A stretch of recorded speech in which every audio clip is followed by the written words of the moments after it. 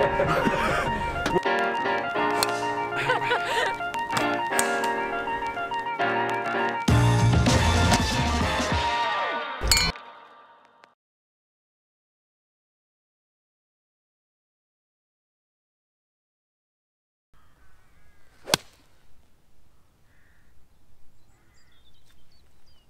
guys, welcome to the channel. If you're new, I've had a lot of uh, new subscribers sign up of late. Uh, welcome. Hopefully you enjoy this. Uh, this is part two. I'll link part one above somewhere. Uh, but this is a little experiment to, I had a big discussion with the likes of Denis Pugh and a few others about extra length off the tee or ex extra club head speed um, will make you a better golfer. And I guess my argument is I don't think it does to the average golfer. Now, I'm not necessarily putting myself into the average bracket because um, I play off scratch or plus one, depending on what day it is. but I'm trying to say that drive for show, putt for dough still exists and is still true. Um, and the front nine, I kind of was proved. I possibly, I'm basically two under on the ninth hole here at the, uh, this is the 10th hole, sorry, at the Players. And uh, this is the back nine. We've got some long holes coming up. Um, I expect really to be one or two under ordinarily. And I'm giving myself an extra 50 yards on every tee shot I hit. Only with a driver, but the 50 yards is not up the middle. It's on the exact line that it was taken off the tee. So if it's gone off to the right of the fairway, it's going another 50 yards. So I've got Cameron Champ's clubhead speed and carry distance and uh, my normal short game to now.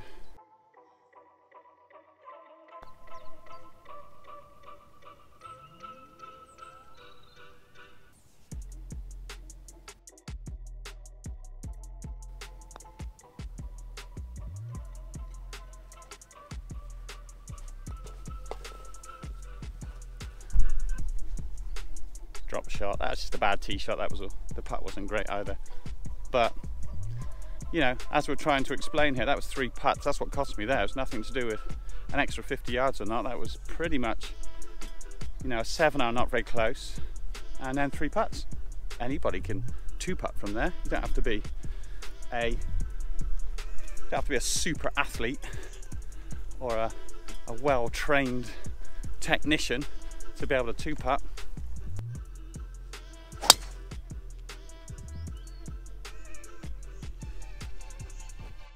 If you've just watched the first round, I hit quite a fair, lost quite a few tee shots off to the right, which can become very costly, especially when you're adding 50 yards.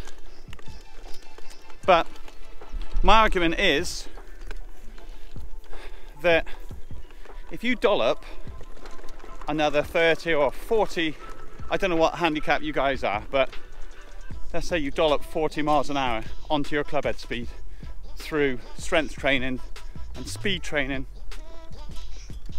that could really get you into a mischief. Now I'm not saying don't try and strike the ball better and hit the ball better for more length. Uh, I'm definitely not saying that. That's a great thing to do. But I see all these videos out there on hit the gym, you know, use these special aids to get your, your, your swing speed up to massive speeds. Now that's really good if you're an amazing golfer anyway, and you're trying to go from being world number 10 or 20 to possibly world number one. That's, that's slightly different because those boys have got amazing short games and putting as well. So yeah, that added bit of difference would make uh, and, and does seem to make a difference as far as Broadie's statistics are concerned. I'm saying that your average golfer, if they hold five more putts around, or even three putted, five times less if you're off 25. That would make a much bigger difference than hitting it 50 yards further. Now 50 yards is a lot. And uh, it's certainly gonna help me on these two par fives if I can keep it straight. And there's no real trouble, so up here, definitely. But as we've seen from the first video, kind of just got me into more trouble than anything else. And I'm actually, my stats, I'm a straight hitter, you know. So, goodness knows what you'd do if you had it offline a little bit, adding 50 yards. Anyway, here I am, I'm in pretty good shape. First tee shot of this nine where I've hit the fairway straight at the middle, so I'm gonna pick it up and go up 50 yards. Right, okay. I'll drop it here. So I had, I'd probably say I had about four on in. And now I've got, let's have a look. And this does feel like a massive difference now I've hit a straight one.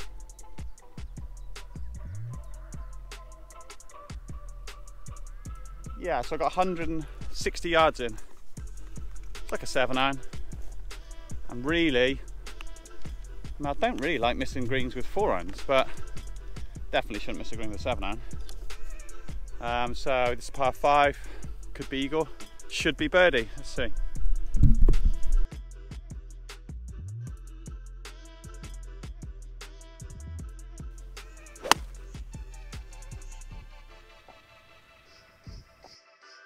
It's all right, it's just on the right edge of the green.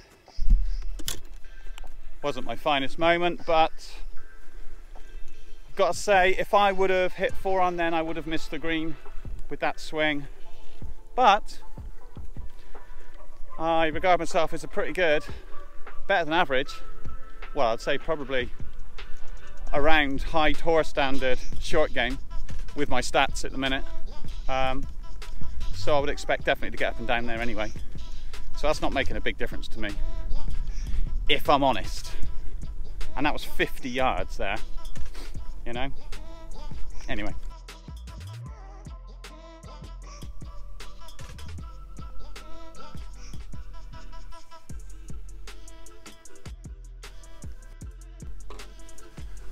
Okay. All right, birdie. I do expect to make birdie there. Birdie. I expect to make birdie there. Sort of eight times out of ten, really. So that was a nice advantage, but not a huge one, I have to say, at this point. and the advantage was I hit, hit it bullet straight, so adding the 50 on there with the dispersion was absolutely fine. Anyways, okay, another par five, the 12th. Hopefully we can capitalize on the 50 down here as well.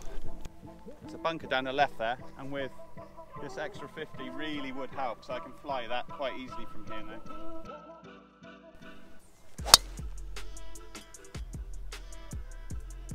At least my drives are straightening out a bit, which is a good sign. It was an early-ish start. It wasn't Robin Matthews Williams early, but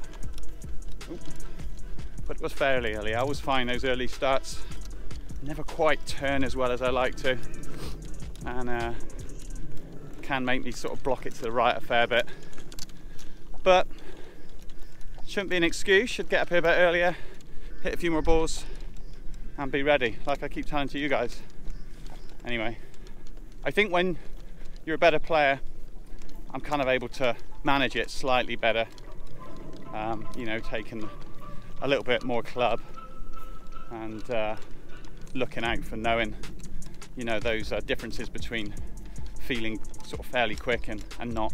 Okay, so that one took a bit of a kick to the right. Um, normally off of this mound, it kicks to the left and I'm always trying to steer away from this bunker. And normally it won't go into this patch here. But today I'm here, I'm gonna have to pick it up and on this line, we're straight at that. So I'll give it 50 and hope we get through.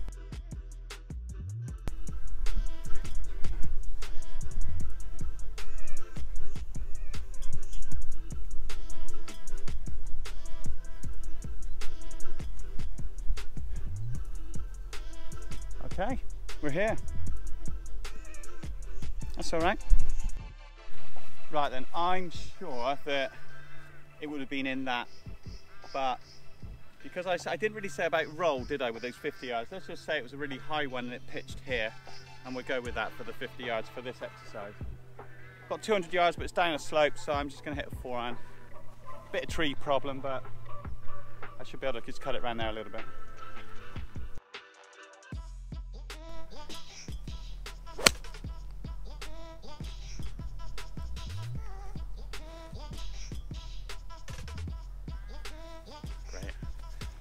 That fat.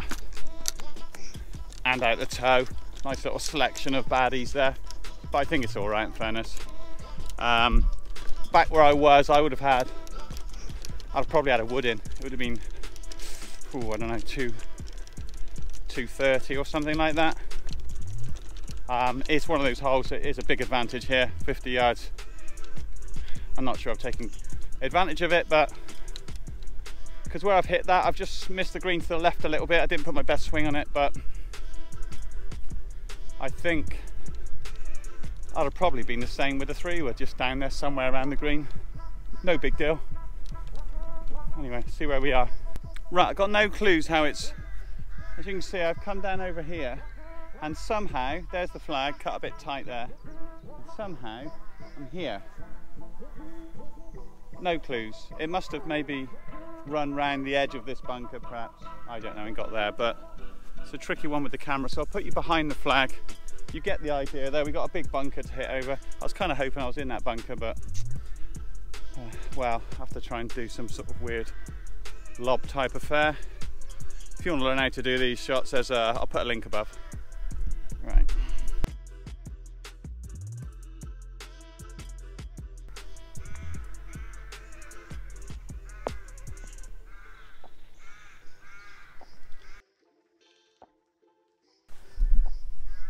About five out of ten. Still a chance for a birdie, but caught that a little bit heavy then.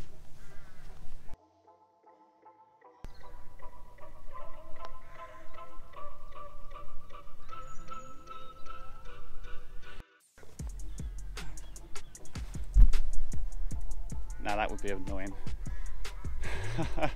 I feel like we got away with it with a tee shot just over those trees but um, should have made birdie four there. But it's a five, I think. Um, I think three under at the minute. Lovely par three next, the 13th here at the Players. Really nice hole. Um, that's lovely hole. It's got some water and some really saucy little pin positions for competition rounds.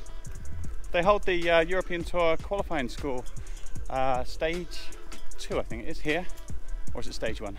One of them. And uh, all sorts of fun events. It's a good course. They can stretch out to 7,000, I think five or 600 yards. Proper long course. Good to see. Right, par three. We're on a bit of a forward tee here. I'd like to sneak on the back here, but don't do that at home, kids. Um, I do get permission from the owner of the club to play off the back tees um, with uh, when I'm hitting woods off tees, you know. But obviously, when you're playing on a par three, you're actually going to make damage with divots and stuff. So fair enough, no worries. Makes it easier for me. Okay, 135, 138, nine iron. Just hold it straight. Pins on the back, so I don't want to chase it too hard because a bit long is not good.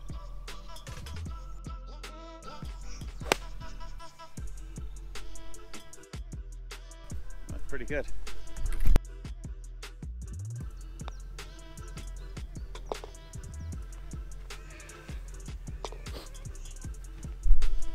Oh, okay, birdie. But that wasn't down to a tee shot. um, so that's, that's one, two, three. That's four under. Okay. But we got some tr tricky ones coming up.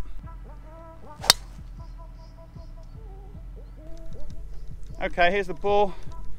Now this one's awkward because the tee is back there and my ball was heading to the right of the fairway. I'm not sure you can see it now, but it was pretty much on this line, which is heading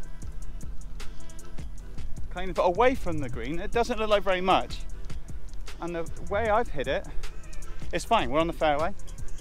Uh, it's a lovely tee shot and I've got a nice kind of six iron into the green. This is a tough hole, but I'm, I'm counting on that 50 yards going towards that tree. So, one, three, four, six, seven, and we're in here. Great. So, keeping my ball that was on the fairway uh, in line with the um, the tee. So you go for the tee through my ball. It was on this angle, even though I was on the fairway, but that extra 50 yards has put me in here, which means I now have to take a two club drop, which I'll do. Yeah. I'll guess that, and I'm just gonna take it out sideways, no nearer the hole, about here. Okay. All right, so now we're playing three again. Okay, so 155, eight iron, third shot.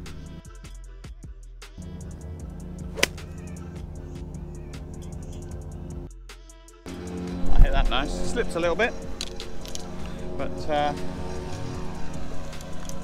that's in pretty good shape, I think. Okay, so after all that, I've carried the flag a bit. I mean, it was 155, it flew quite a bit.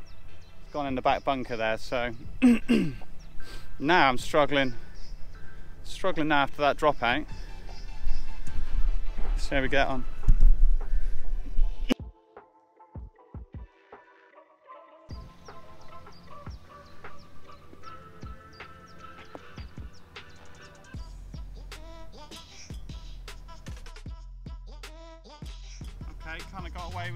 There, but uh,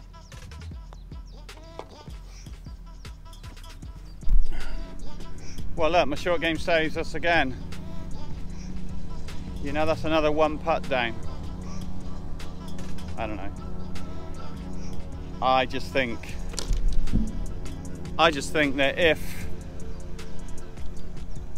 an elite player didn't have a short game, they would just be very average.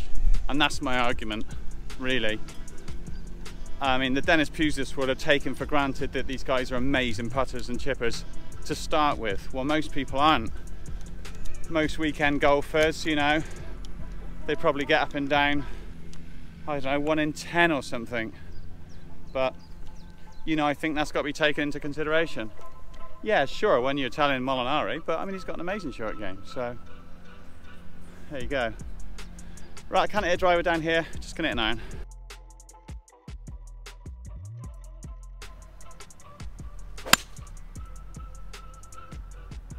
So, uh, so what do you think? Write in the comments down below. Would you rather have um, 30 to 50 extra yards on your tee shots or five extra putts? The reason why we say that, us uh, kind of YouTubers, write in the comments down below. A couple of things. One, it's really nice to hear from you, and I think that's kind of, with my channel, the more important thing. It's nice when I put a video up to get some feedback, and um, if I can help any of you guys out anywhere I can, I would love to. So some sort of feedback would be really nice. If you've tried a few of these exercises and decided it works, it'd be nice to hear, or maybe it hasn't worked. That's fine as well. And the other thing is the YouTube algorithm, which, you know, more comments equals you get uh, pushed higher up the ratings and you get recommended to more people, so that helps as well. So, uh, if you've got the time, comment down below just with like a thumbs up or anything you like. Or ask me a question, I'll answer it almost straight away because the channel's still quite small. Although we are growing, guys. Thanks very much. It's nice to see all your lovely smiling faces once a week at least. Um, but yeah, any sort of comment and uh, I'll reply as soon as I can. Right, so we're right down the middle on this one. I'm not hitting, I'm not putting an extra 50 yards on this because I only hit an iron and you wouldn't do it anyway here. So it's only fair. In fact, I've only got one driver left to take advantage of that. Oh well.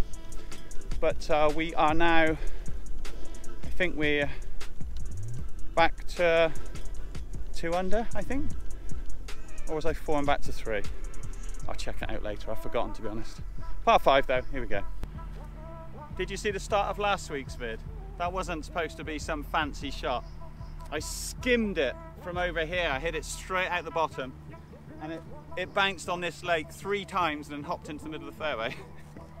if you've got a big screen, go back and look at that. It's the first five seconds. You don't have to watch it all. But uh, it skimmed across there brilliantly. When I put it onto my big screen, uh, I could see it, which was amazing. Anyway, I'm just going to pad a five iron down there to leave myself a nice wedge into this par five. Going for the green in two is not worth it here. We got gorse bushes all up the left. We've got a bunker just short on the carry distance. And to be honest, if you're around this green, it's a hard chip and putt anyway. I'd rather have a fuller shot and have a little bit more control into the, uh, you know, if you hit a good shot, you know it's going to stop.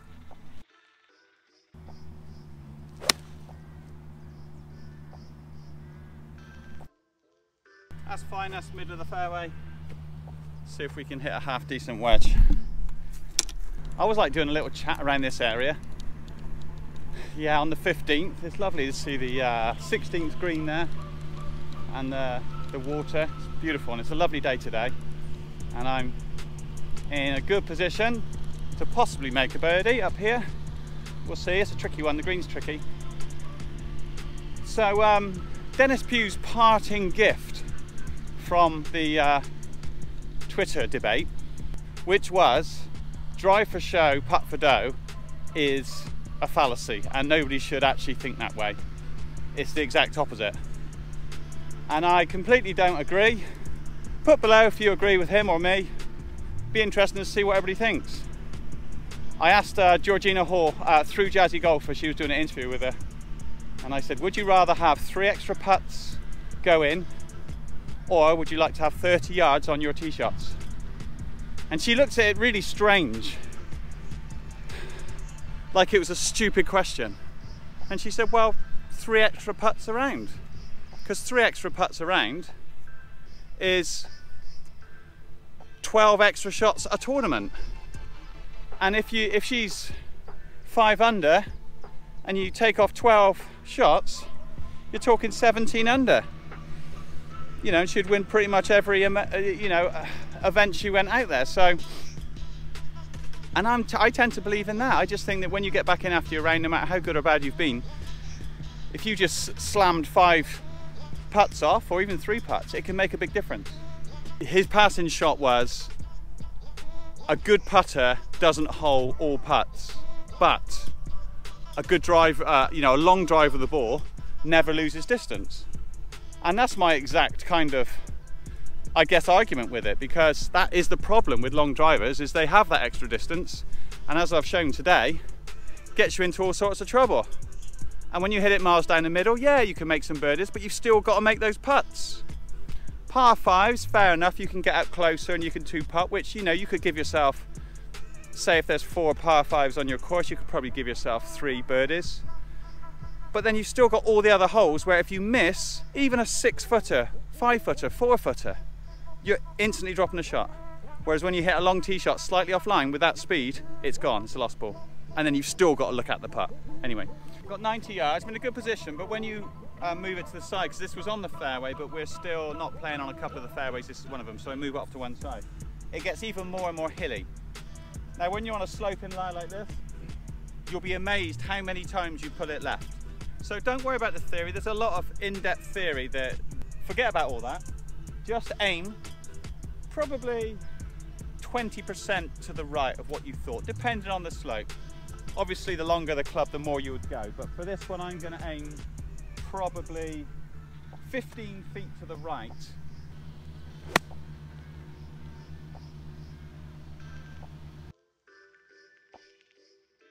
So that one stayed right. It happens. After all my chat about it going left, and I just completely blocked it.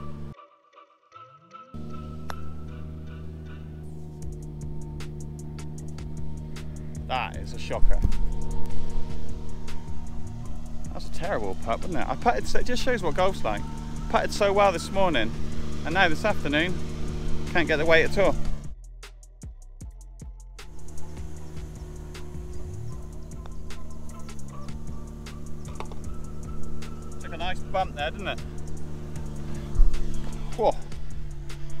That was lucky. saved my five. 155 yards.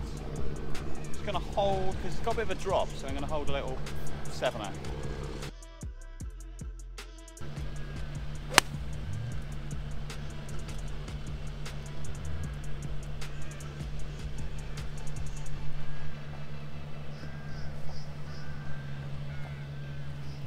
A little bit long.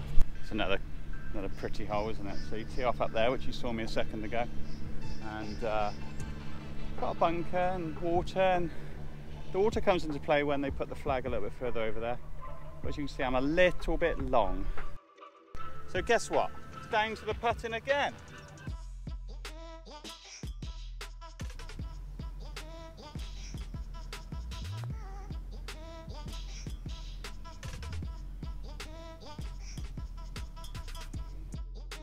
How much break did I think that had? That was a shocker, wasn't it?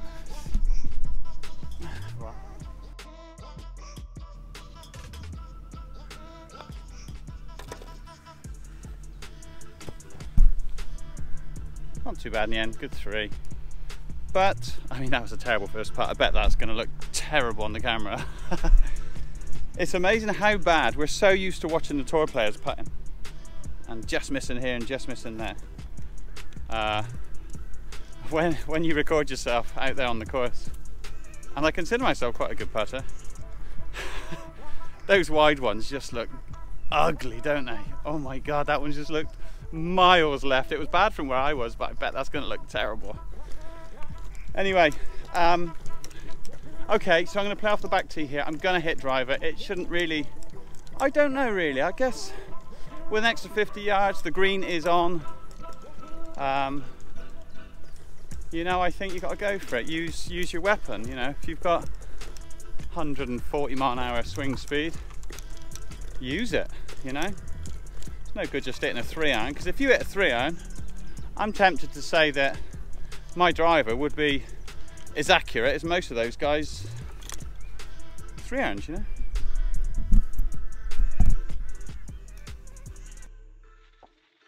Okay, should be a laugh. Come on, Cameron. Give it some.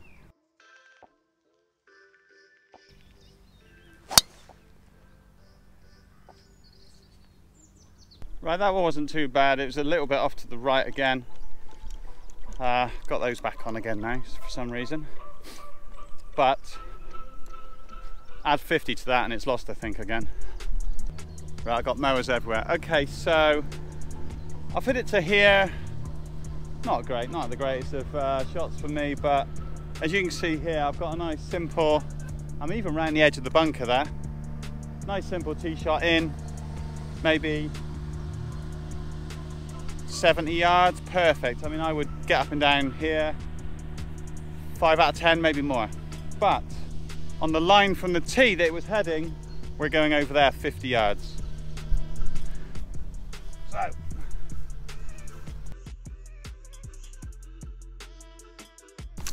eight, nine, 50. Okay, well I'll be lenient and I'll drop it here. Uh,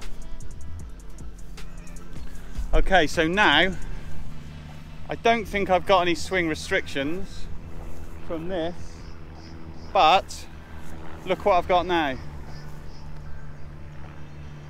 Now I know some of you are going to say, yeah, but you should have hit a three iron or something. Well, I don't think so because I had a, a, shot at the green. Um, and you know, if I'd have hit a good shot, I'd probably got on there with that 50 yards.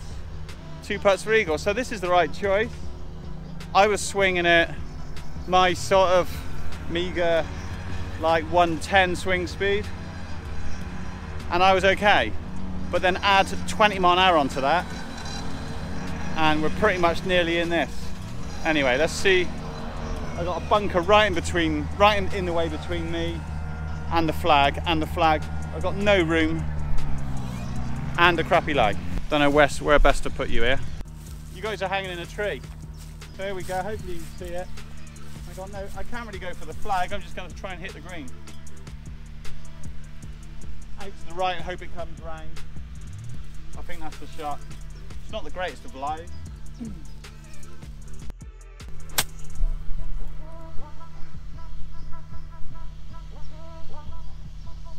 kind of about right.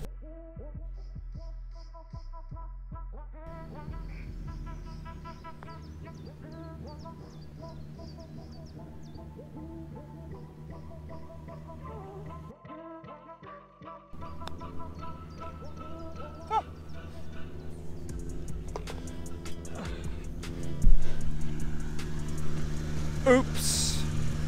I thought it was alright, Pat. Should have taken the flag out, shouldn't I? At this guy doing his stuff. doing his thing.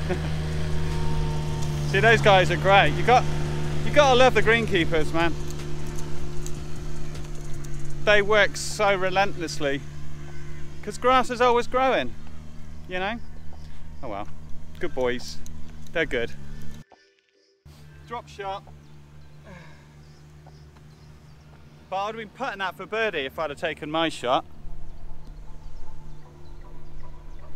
I'd have been putting that for birdie if I'd have taken my shot, but that was a drop shot as it was. Those extra 50 didn't help a bean. They should help up here though, so I can get up to the green.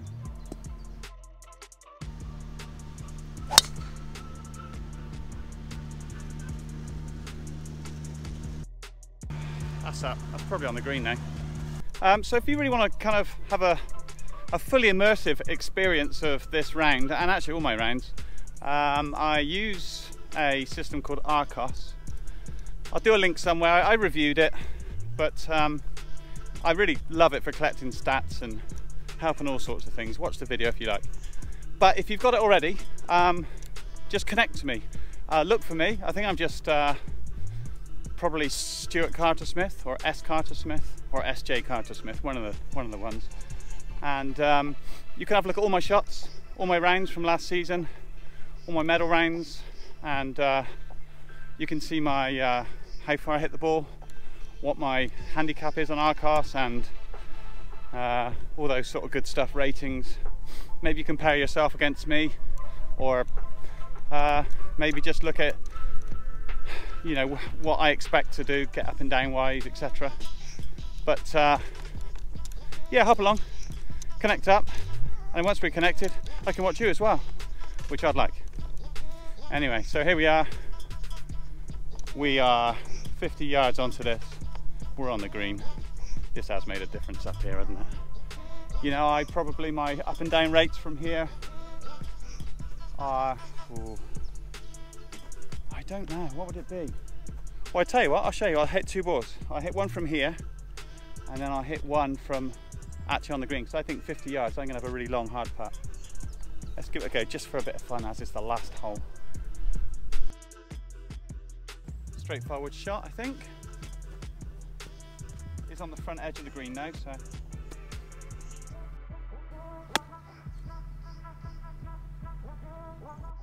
that wasn't my best but it's all right. You know, I mean, it's holdable. And, um, oh, I better pace this out. Five, six, seven. And the other ball. Okay, I've added my 50, 50 extra yards.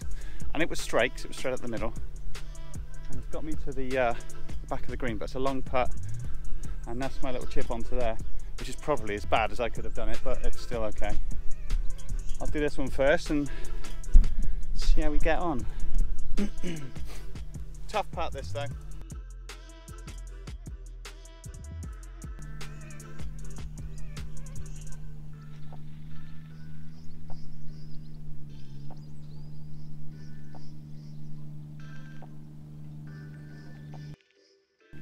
I know, I know, that looks horrendous. But that was a hard putt down that slope, and this isn't much easier.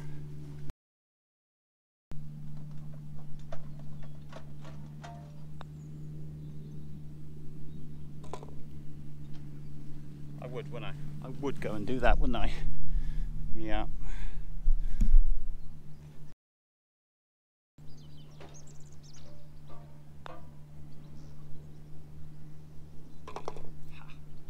Ha.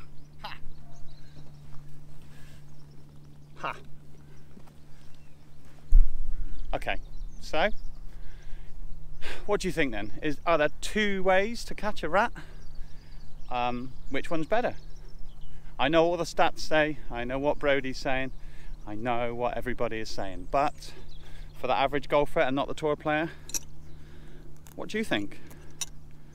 I mean, looking back on this round, what would you say was the difference?